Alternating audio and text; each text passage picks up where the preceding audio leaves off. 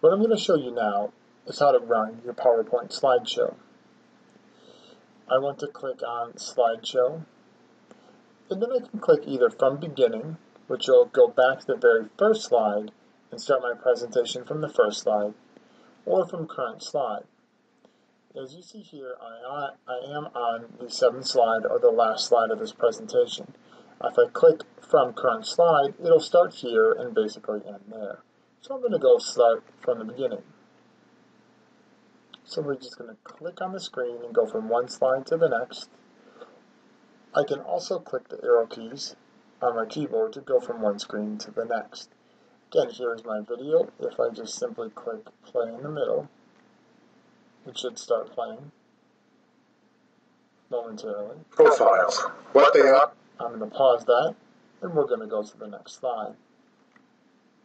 Here's our other video that we've embedded. And then here is our bullet points. What I'm going to do here, though, I want you to right-click on the screen,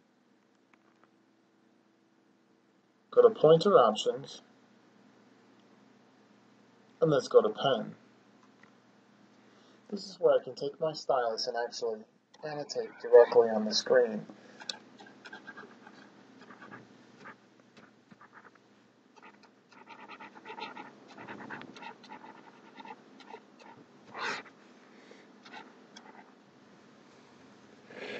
Again, it's really important that if I right click pointer options, I now can change the color of my ink.